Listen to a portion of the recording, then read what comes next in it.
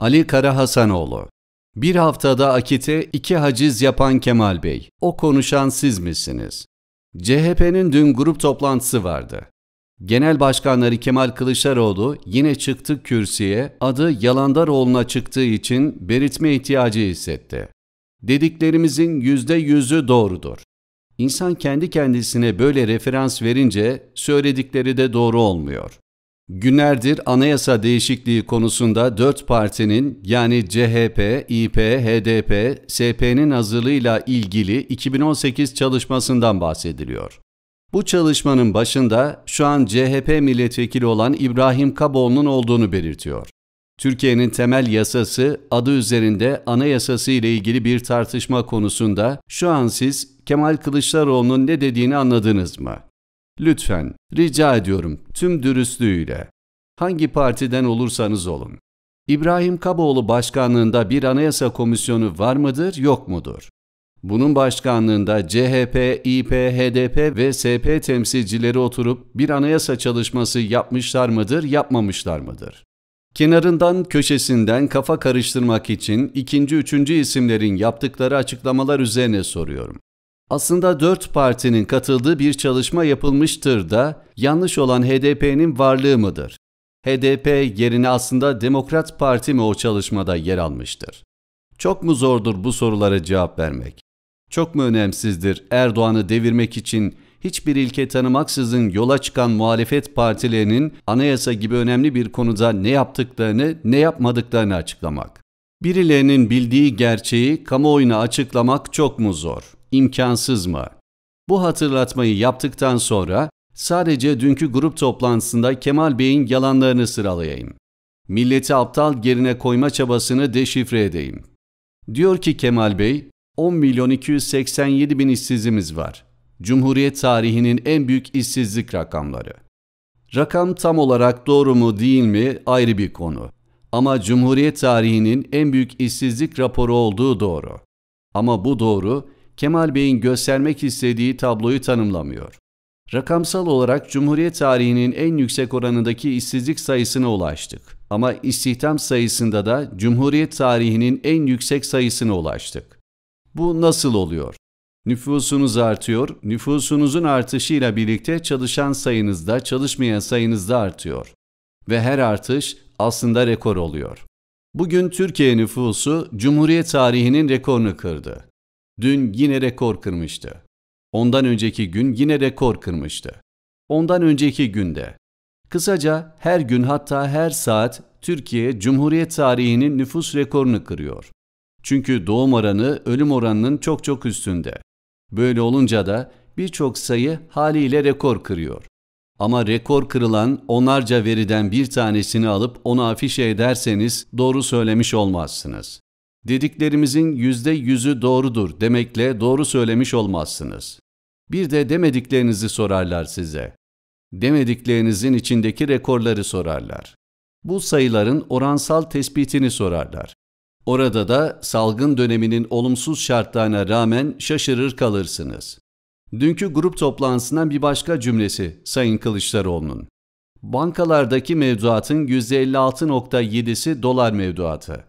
Vatandaşın parası var, haklı olarak Türk lirasına güvenmediği için dolara yatırmış. Haydi buyurun buradan yakın. Vatandaşın parası var sözü benim değil, Kemal Kılıçdaroğlu'nun. Hani insanımız her geçen gün daha da fakirleşiyordu? Ve ben bir ekleme yaparak bu konuyu açayım.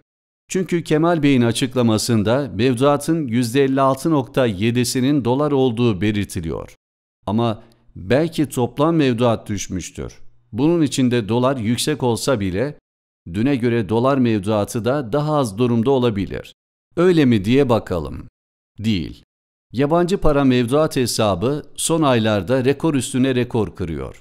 O zaman Kemal Bey alışkanlık haline getirdiği verilerin yarısını açıklayarak yalancılığın kralını yapmış olmuyor mu?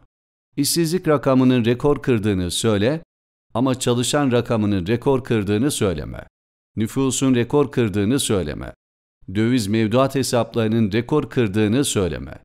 Dünkü grup toplantısında daha başka benzer yalanları da var Sayın Kılıçdaroğlu'nun. Ama grubu da heyecanlandırdığı bir sözüyle bitireyim. Diyor ki Kemal Bey, Sen hukukta reform yapacağım diyorsan yarın sabah buna izin vereceksin. Yarın sabah. Kapatan kişilerden de hesap soracaksın. Diyeceksin, yasalar var sen bu yasalara uyacaksın. Nasıl oluyor da sen bütün internet sitesini kapatıyorsun? Bunu bir kişinin söyleyebilmesi için önce Akit gazetesini tümüyle yayınını kesen Almanya'ya bu hatırlatmayı yapması gerekirdi. Bu bir. İkincisi Oda TV'nin yanı sıra Cumhuriyet gazetesine verilen basın ilan kesme cezası içinde hemen yarın iptal edeceksin çağrısı yapıldığına göre önce Akit hakkındaki iki general için yazılan onbaşı olamayacakların general olduğu ülke yazısından dolayı verilen 30 günlük resmi ilan kesme cezası için aynı talebi dillendireceksin. O cezanın verilmesi için sen özellikle tahrikte bulunurken hatta daha bir ay önce Akit TV'nin KJ'sindeki maddi hata için CHP'nin retüe seçtiği adamın baskısıyla ceza verildiği halde şimdi kendinize yandaş siteler için hukuk isteyeceksin. Evet hukuk herkes için gerekli. Ama bunların istedikleri yandaşlarına ayrıcalık. AK Parti halktan oy alsın, iktidara gelsin ama solcuların borusu ötsün. Kemalistlerin istedikleri olsun. Onlara kimse dokunamasın. Milli ve yerli duruş sergileyen Akit gibi yayın organları ise çaktırmadan cezalar verilerek susturulsun. Daha fazlasını söyleyeyim. Daha iki hafta önce CHP Genel Başkanı Ankara 8. İcra Dairesi'nde yaptığı icra takibiyle Akit hakkında haciz işlemleri başlattı. Öyle ki hızını alamamış, diktatörlük var dedikleri dönemde bile kendi lehlerine yandaş diye suçladıkları yayın organı aleyhine mahkemeden karar çıkartmaları yetmemiş. Bir de mahkemenin belirttiği miktarın üzerinde haciz uygulattırmış. Tablo resmen böyle. Onun için sandıkta her geçen gün oyları daha da azalıyor. Onun için AK Parti'nin eskileriyle bir araya gelip nasıl devirebiliriz'i düşünüyorlar. Ali Kara Hasanoğlu Rauf Tamer Taslak maslak Anayasa çalışması yapmak ayıp değil, saklamak ayıp. Gerçi yapmadık diyorlar ama arşive bakınca yaptıkları pekala anlaşılıyor. Öyleyse saklamak niye? Ortada anayasayı cebren tebdil, tayir ve ilga gibi bir suç da yok ki. Sadece bir çalışma var. Öyleyse niçin saklıyorlar? Utandıkları için mi? Ne var utanacak? Bir ihtimal o taslakta HDP'ye fazla taviz mi verilmiş acaba? Velev ki verilmiş. Ne var bunda?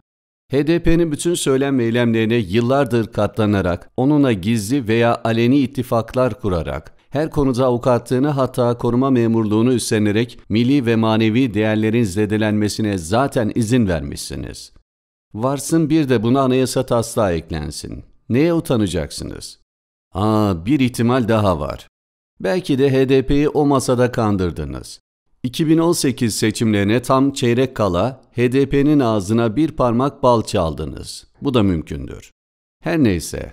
Biz neyi konuşuyorduk? İyi Parti'nin İstanbul İl Başkanlığı. Laf kaydı gitti, bakın nerelere geldi. Rauf Tamer.